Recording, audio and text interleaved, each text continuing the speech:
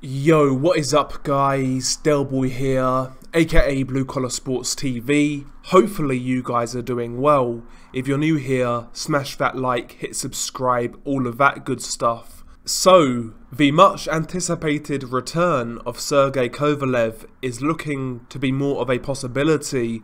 According to various reports, Sergey Kovalev and Fan Long Meng are in talks for a March 12th fight on Triller and according to these reports, the fight will take place at a catch weight of 185 pounds. So essentially, it's a cruiserweight bout. And yeah, Triller are looking to be the likely broadcaster. Is it a good idea to have Sergey Kovalev fight on Triller?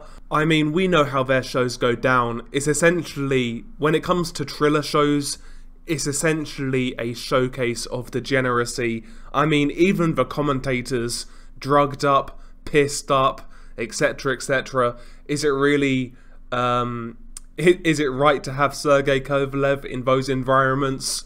Who knows? But um, I'm playing. You know, Sergey Kovalev last fought in November 2019, so he's been out of a ring for over two years at this point in time, and he's in his late 30s now, so quite frankly, at this stage of Sergey Kovalev's career, I don't really expect too much from him, if I'm being honest. I mean, given the inactivity, the fact that he's in his late 30s, I don't really expect too much from Sergey Kovalev at this point in time. And, you know, I see Sergey Kovalev as one of those guys who would go down as a wasted talent. I know he's achieved a lot in boxing. He's a former unified light heavyweight champion. I believe he's a three time light heavyweight champion. So he has achieved a lot in boxing. But for me, considering his skill set, his talent, his power, I kind of believe that he should have achieved more in the sport of boxing. Obviously, we've heard the rumours that, you know, Kovalev outside the ring hasn't always lived the life, etc., etc. And not only that, of course, the first Andre Ward fight, I felt he really got the rough end of a stick in that fight. I felt he won that fight pretty clearly, pretty obviously, but he never got that win, and quite frankly, ever since then, he's not really been the same fighter. He's had success since then, but I always felt that that fight took something out of Sergey Kovalev not physically, more so mentally, I think it really killed his drive and desire to be a great fighter, or it, it took something out of him in that sense, in my opinion.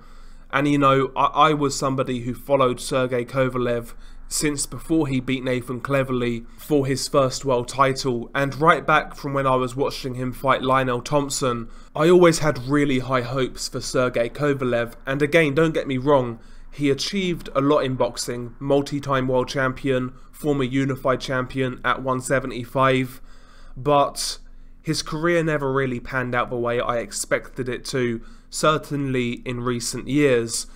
And for me personally, the fight with Canelo Alvarez really left a bad taste in my mouth. I lost a lot of respect for Sergey Kovalev, if I'm being honest. I felt he sold out in that fight, quite frankly. So going forwards, I mean, I don't really expect too much from him.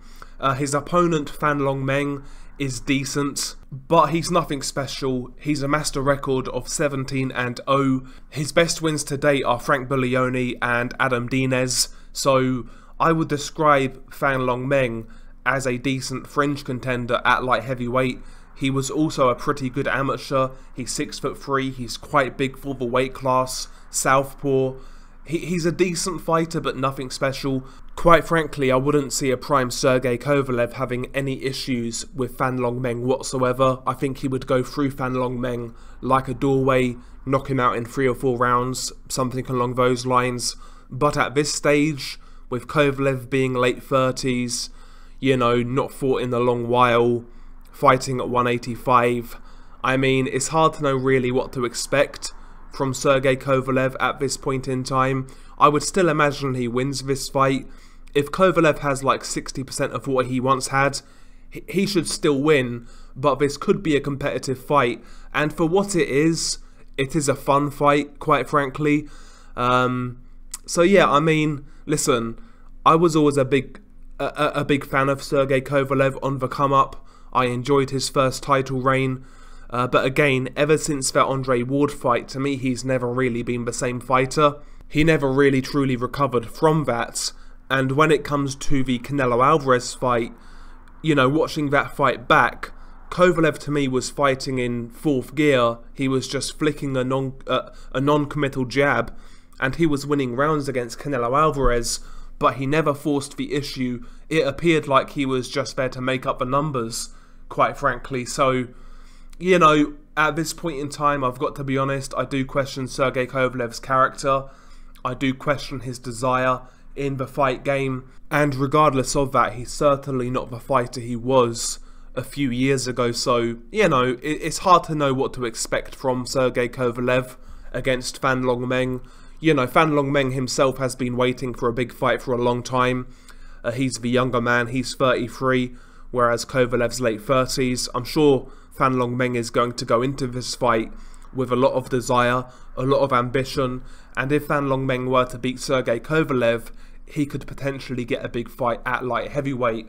Fan Long Meng, of course, was actually the IBF mandatory for Artur Beterbiev for a little while, and that fight was supposed to happen, but originally Beterbiev didn't want to go to China due to political reasons, and then I believe Fan Long Meng got injured, so Adam Deines was then named the mandatory. So, you know, Fan Long Meng's been waiting for a big opportunity for a long time. I'm sure he's going to go into this fight with a lot of ambition. And against a guy like Kovalev, who was once a great fighter, but not anymore, it could make for a good fight. So, listen, you know, I, I feel a certain way now about Kovalev, but I am interested in this fight. I'll be intrigued to see how he looks in this bout. Anyway, share your thoughts below. It's been your guy Delboy. Peace.